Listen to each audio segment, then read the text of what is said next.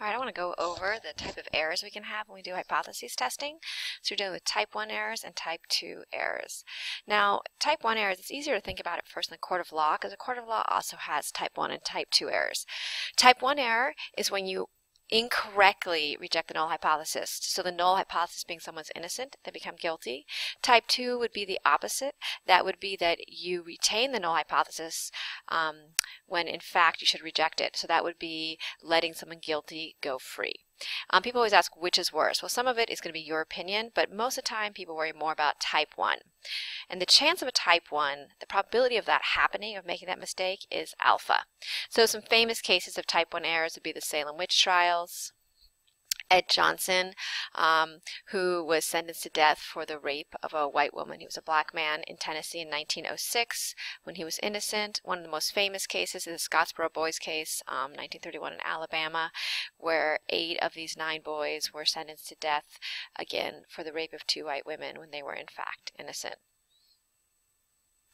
So the probability of a type 1 error is alpha. So we actually decide, we can decide how much risk we want to take of making this mistake. Now, some people say, well, why not just make alpha crazy small because then it will never, ever happen.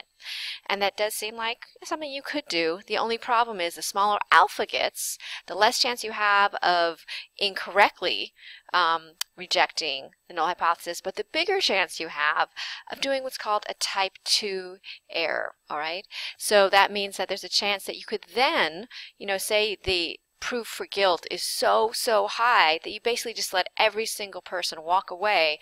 And so no one is ever proven guilty and everyone is always innocent, even those who actually are guilty. All right, so you have to be a little careful. You want there is going to have to be some risk involved um, to avoid that type 2. Now, type 2, the chance of that happening is beta.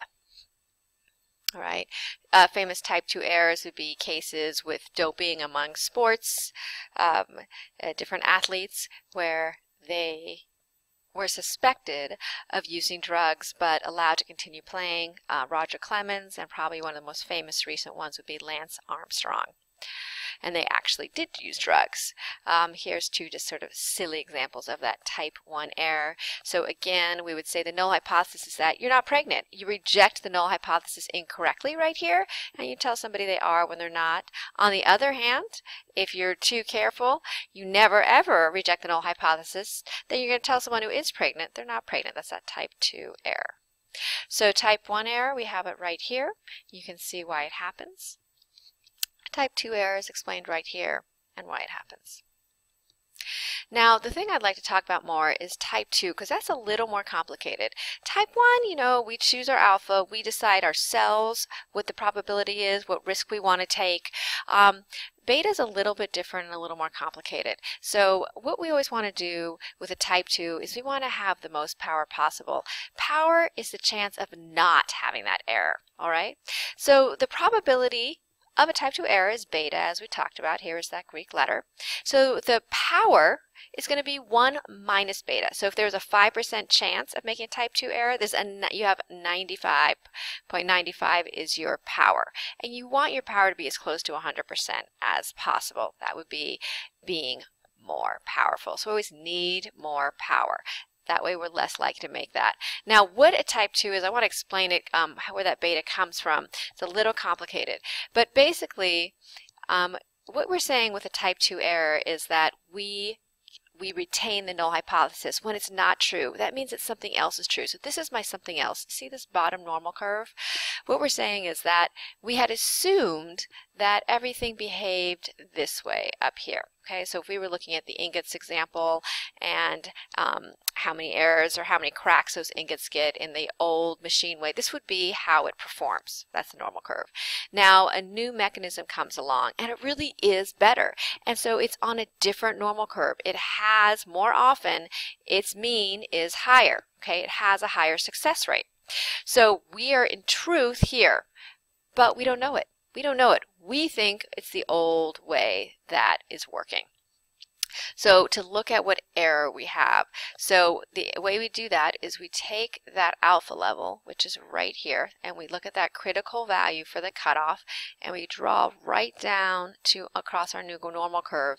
And right here where there's an overlap, this means that if the p-value it fell anywhere in this part of this curve, or right over here, if that value did, um, then you would make a type 2 error. So the area of this, that is the probability of a type 2 area because if anything falls over here we are going to incorrectly retain the null.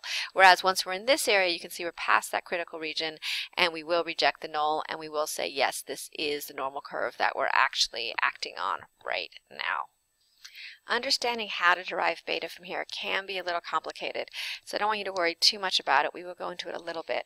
But what I do want to say that is awesome about beta is unlike alpha, which we just kind of decide and then it's set there, with beta there are ways that um, you can shrink beta and that increase the power. And that is if you have a larger sample size, okay? So the larger your sample size, the smaller beta will be. Also, if there's a bigger mean between um, your null hypothesis and the observed value, so that will make it more extreme. So if the mean is larger, so if we look at these two again, this is, we can say, our distribution for our null hypothesis. That would be the old machine that we were using. This is the distribution for the new machine that we know, in truth, secretly is better. If there was a bigger difference between these means, this right here, the second normal curve would shift over and beta would shrink. All right, so if you can find that bigger difference between the mean. The other way that you can reduce beta is by choosing a higher alpha. So if you choose a higher alpha, this line will move over because that critical value will become larger and that beta area will shrink. Just to go back to how the larger sample size will decrease that chance of making an error and increase the power. When you have a larger sample size, your uh, standard deviation or your standard error will actually shrink. And when that happens, um, this normal curve will become narrower. So this true normal curve will shrink this way, will shrink over to here, become a narrow curve, and so you can see that beta would become smaller. So that probability of making that type of error would also shrink. Some of you might be interested in how in the world we actually find beta. We know like with alpha, we just choose. Do we want it to be 0.01, 0.05, uh, 0.10? With beta, there is an actual way to find it. Um, so if you're curious, just to let you know, how you do it is, again, when we're looking at beta, what we're doing is I'm assuming, if it's a type 2 error, that this is my true normal curve, but I just haven't proven it yet. Okay, so I'm going to be acting on this normal curve right here. So what I want to do is I want to find the probability of getting a random sample of getting a sample that has a p-value greater than alpha. I know right here that this is my cutoff. Okay, so if my p-value is smaller than alpha, I'm in this range, I'm fine, I'm going to reject the HO. But if the p-value is bigger, that is over here, I'm going, I'm going to uh, be retaining the HO, which is problematic. So what I need to do is I figure out my alpha value, figure out that critical value, and then I take that critical value and I set up, I figure out this normal curve, I figure out the mean and the standard deviation, and I just solve for this probability because I know if it falls in here, that's where my type 1 error is. So I just calculate the probability of getting a value that is greater than, I mean, sorry, smaller than alpha. So just a question about power. If I gave you two examples, I'm testing a pair of running shoes to see if they increase your speed. Now say I test a new pair and it says it increases the speed by 5% from the old types of shoes. Now I want to do a test on a different pair. Now this one says that it increases your speed by 50%. My question to you, which one of these two is going to have more power?